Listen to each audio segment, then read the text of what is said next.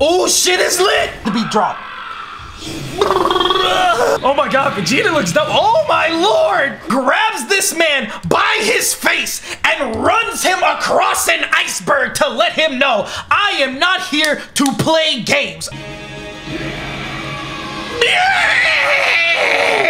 And he just, I don't know, he still beats the shit out of the main character and the main character's boyfriend.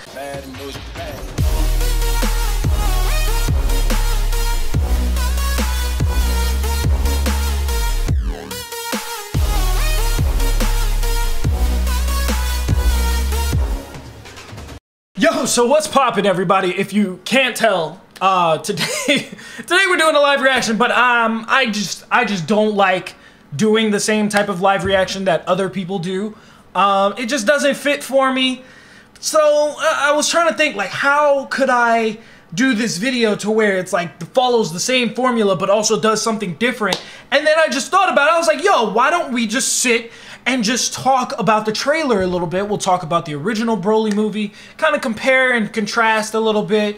Um, I'm not the best at that, only because I can't remember minute details like some people can. Although I did recently just like go back and watch like a lot of clips of the original Legendary Super Saiyan movie, and I just have quite a bit to say. So let's go ahead and hop into it, ladies and gentlemen. Your boy is excited for this movie, okay? And I only mean excited like like how I was excited for the My Hero Academia movie, which was great, by the way. Um, I still need to do a video for that, I guess.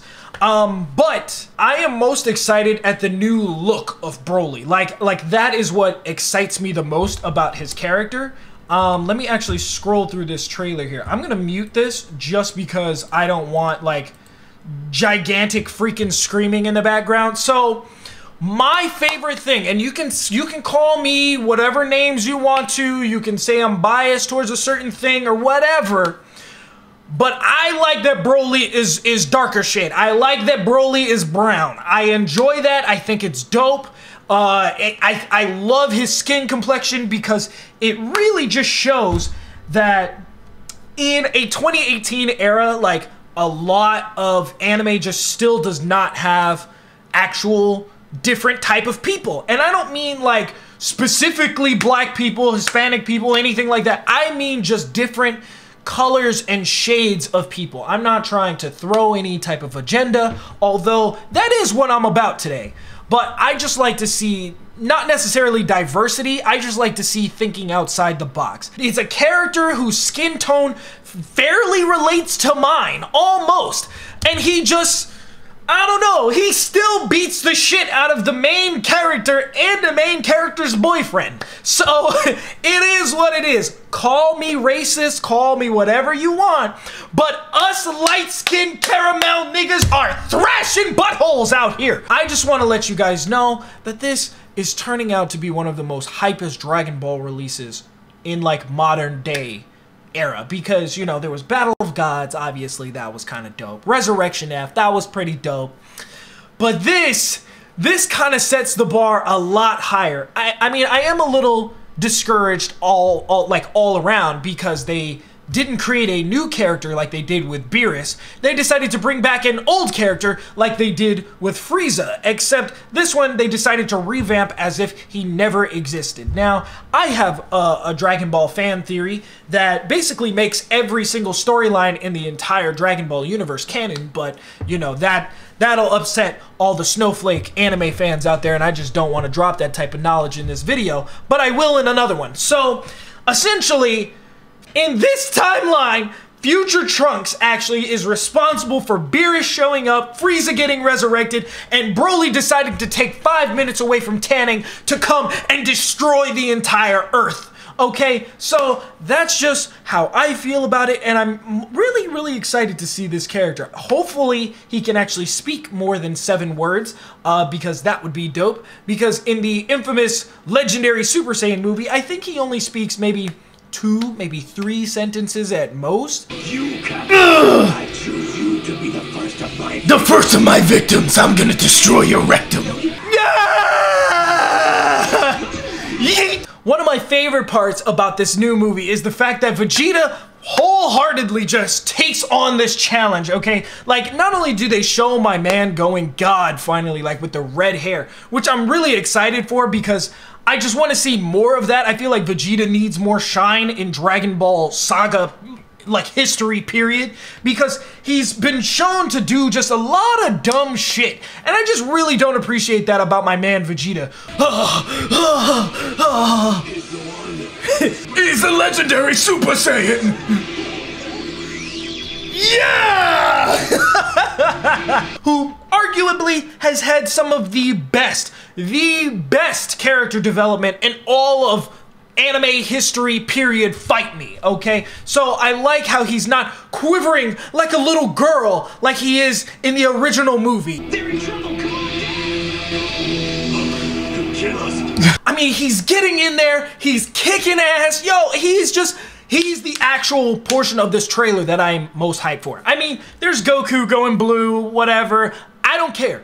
I want to see more of Vegeta actually doing some stuff. Vegeta with the fire and the flames. Yo, he's coming at this man full fury. I mean, it's not doing anything, but he's still.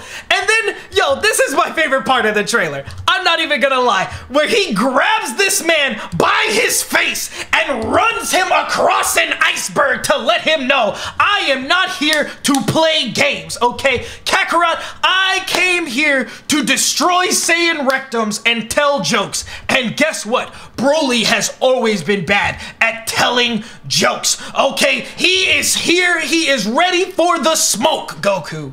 So, I mean, that's dope. I'm also excited to see that Frieza is deciding to just jump onto Earth and all of a sudden he has some type of like benefit in this fight, which doesn't make any actual sense to me, but that's great. I guess it's nice to have another character uh, get bodied by, by Broly, but I mean, he's completely unnecessary to the story. I'm gonna tell you right now. I don't, I don't need to see him in there. I don't need to have him in there. I would live so much more longer without having to see Frieza in this because it doesn't make any sense after the Tournament of Power. Where does Frieza go? Does he just hang around in Earth adjacent, like near the Earth? Like he hangs around somewhere in the solar system? Because then it's like, do you not have anything to do? So what are you doing just popping up here? So it would have been nice if they would have just cut Frieza out of all three of the trailers that have been out so far.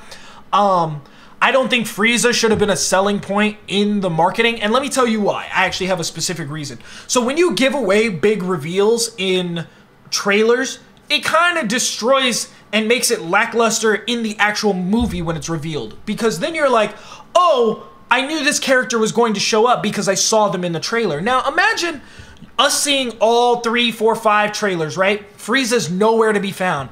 But then he shows up in the movie with his just arms crossed and he just like descends and he's just like, I heard there were monkeys fighting today. Like, and you know, like, then he just turns golden. Like, that would be a reveal that would be great to see in the movie. But, I mean, you know, it is what it is and we don't always get what we want. I definitely don't. So, I mean, it's cool. I'm hoping that some other characters get some shine in this movie because so far it's just seeming like it's it's Goku time. I mean, Goku is going to find a way to beat him unless they decide to write Vegeta a victory for once. That would be great. I would be, love to be able to see Vegeta finally get a win uh, for once. But I, I also have this very looming fear that I feel like Broly is going to become like one of the Z fighters, okay? It's this thing that a lot of anime do where the main protagonist beats the shit out of a main antagonist, then all of a sudden the antagonist is like, bro, bro, bro, bro, bro, bro, bro, stop, stop, stop!